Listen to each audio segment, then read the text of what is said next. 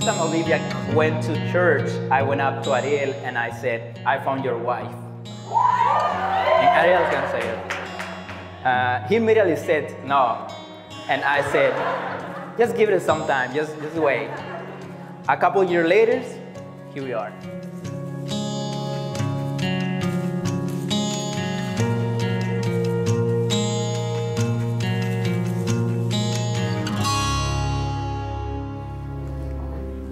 I urge you both, as you stand here before God, to remember that only love that Jesus has finished work for us on the cross will serve to seal and bear fruit to what you're about to say to each other.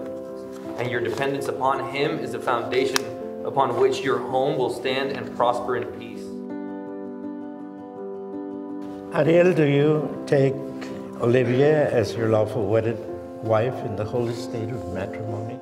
Oh, okay. I will do so as long as I live. Amen. Olivia, Make that clear. do you take Ariel to be your lawful wedded husband in the holy state of matrimony? I will as long as I live. Amen. You may kiss the bride now.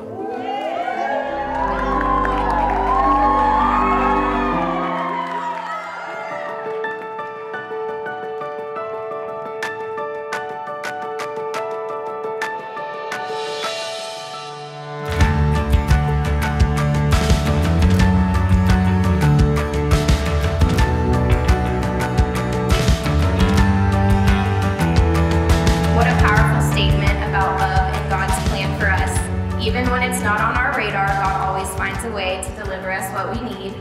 It is evident that Olivia and Ariel need each other.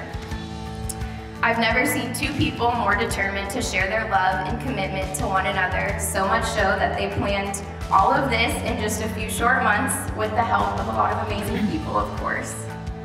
All of this to say that I love my sister and I'm thankful she found the perfect person to share her life with. I, I always wanted a brother. I growing up, so Ariel was an answer to a prayer that I had had since I was a little kid, and watching him grow up has been a true privilege to see the man that he's turned into, um, to see what you've become. I am so excited for you guys. This journey for you, marriage. Everybody said it is an incredible thing, a very hard thing you're each other's family now.